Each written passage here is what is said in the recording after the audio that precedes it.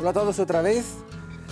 Bienvenidos eh, en mi cocina, la cocina de Nicola. Y nada, hoy vamos a hacer una ensalada con ajos asados, albahaca fresca, tomate fresco y tomate semiseco en conserva y una vinagreta con vino tinto y azúcar.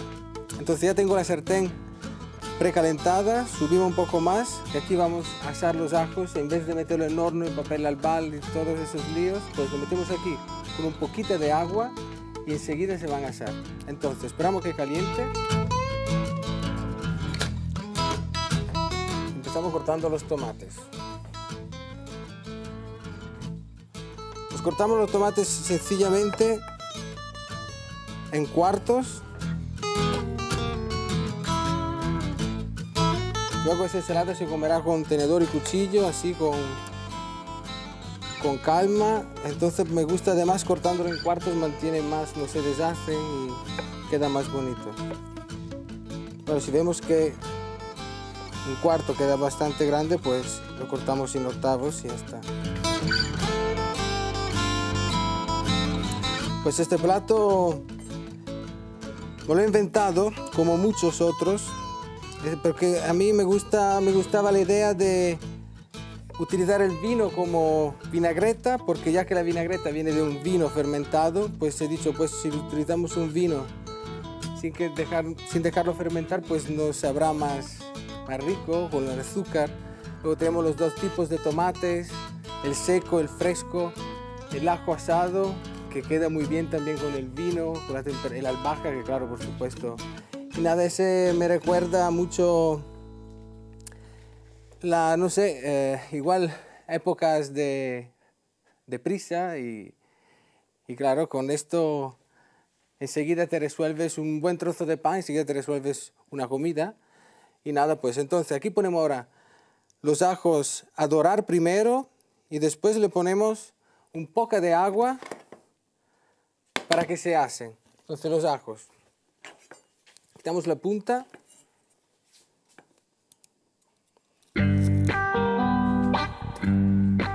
De atrás, solo así. Y ya está. Y lo ponemos. Pizca de sal.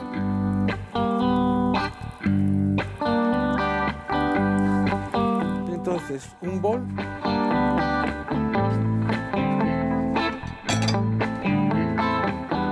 Aquí metemos el vino con el azúcar mientras tanto así preparamos la vinagreta. Vino, así. un poquito de sal. Azúcar como dos cucharaditas, una cucharadita y media de café, del tamaño de cuchara de café. Pues si vamos allá, subimos. La albahaca, vamos quitando las hojas que más nos gusten. Y la dejamos entera porque va, va, va a ser mucho más sabroso y rico y además no se va a oxidar. Pero cuando la picamos, depende según qué lo que hacemos, pero mejor dejarla entera. Y además a mí me gusta comerla entera, la hoja, y es muy, muy delgada, muy buena y queda muy bien así entera. Ya tenemos preparada, ya está, tomate. Aquí tenemos el vino con azúcar que lo vamos a remover un poco.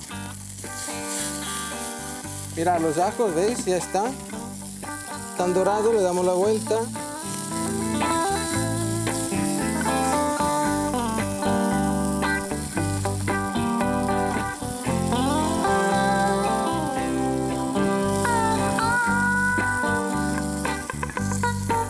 Ahora mismo le añadimos el agua.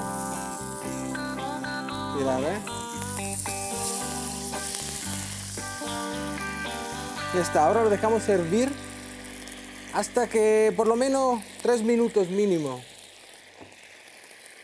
Y de esa manera se va a enternecer por dentro y fuera ya lo tenemos marcado, su caramelizado con sus mismos azúcares y luego ya lo, lo, presentamos bien con la ensalada. Aquí batimos para que el azúcar se deshaga bien y se mezcle con el vino. Ponemos un poco de aceite también en crudo. Y hace unos dibujos muy bonitos.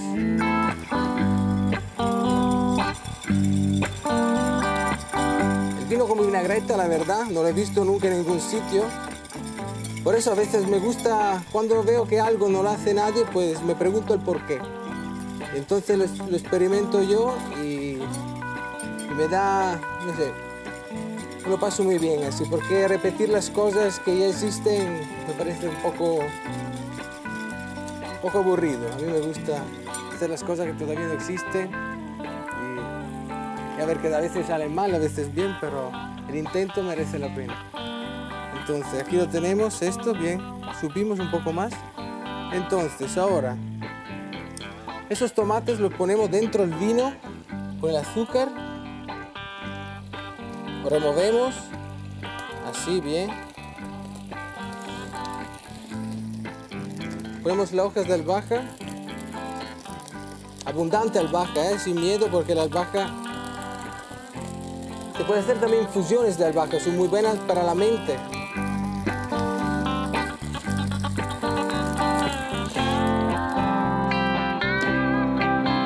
Los tomates secos al final lo pondremos encima ¿eh? adornando eso lo dejamos entero porque está ya bien así. Entonces aquí tenemos ya macerando, digamos. Hemos puesto el azúcar y todavía nada de sal. La sal la ponemos después de un ratito porque si la ponemos ahora soltaría demasiada agua el tomate y cortaría un poco, bueno, sería más acuosa la vinagreta. Entonces al final le ponemos por encima y ya está.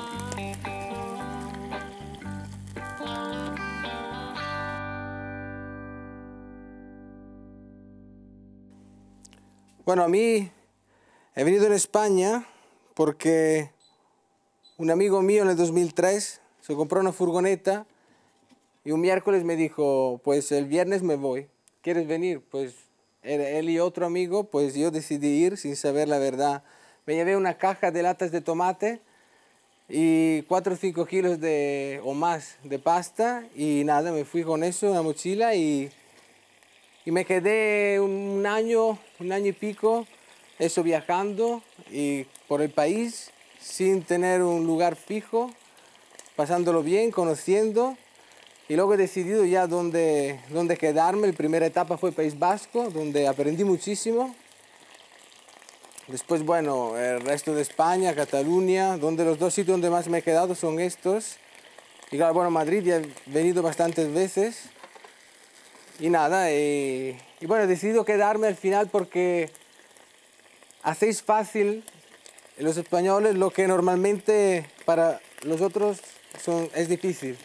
O sea, nos complicáis la vida y eso me parece algo muy bonito y algo no fácil de, de, conseguir porque es complicado hacer las cosas fáciles, pero si lo haces de manera tan natural, pues en Italia se le da mucha importancia a cosas que en realidad no lo tiene, entonces la gente se vuelve un poco loca y, al final se agobia y, tiene un resultado no tan bueno como si te tomas la cosa poco en serio, que no significa no querer hacerla bien, significa querer hacerla con libertad y, y nada, para pasarlo bien, como cocinar al final. Pues esto si veis le voy añadiendo agua porque más reduce, más sube el aceite y luego salpica. Entonces si mantenemos ya una cantidad de agua no va a salpicar tanto. Sería bueno taparlo.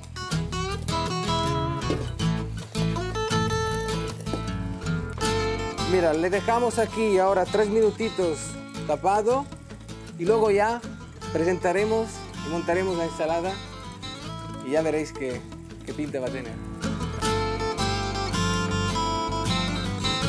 Bueno, ya tenemos los ajos bien asados. Habéis visto, sin meter horno, sin nada, con un poco de agua tapado y ya está. Ahora ponemos los tomates, que todavía no están salados. Así lo cogemos con la mano, ¿eh? Sin miedo a la gota, nada, que luego eso se limpia. Lo dejamos caer, así. El tomate no deja de ser una fruta, así que el vino, el azúcar, le queda muy bien. Ya está. Después limpiamos ya todo. Entonces ahora sí que le ponemos la sal. Intentar ponerla, si podéis, encima de cada uno, cada trocito. Ya está. ponemos los tomates secos, eso no lo salamos.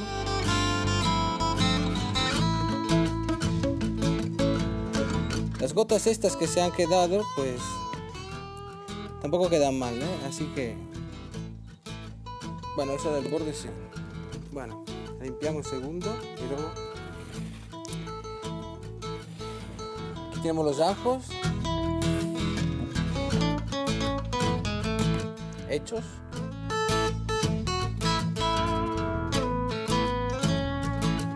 Con un tenedor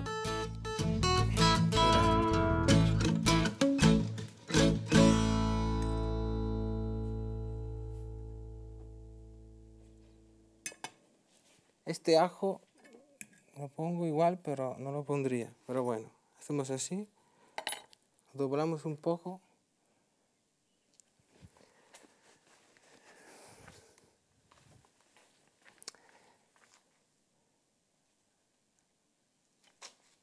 Cuando es que a veces no digo nada porque me parece que si hablo estropeo ya lo que te os dice ese plato que es sano, bueno, se puede acompañar a nada y queda muy bien también, porque a veces no es obligatorio acompañar las cosas.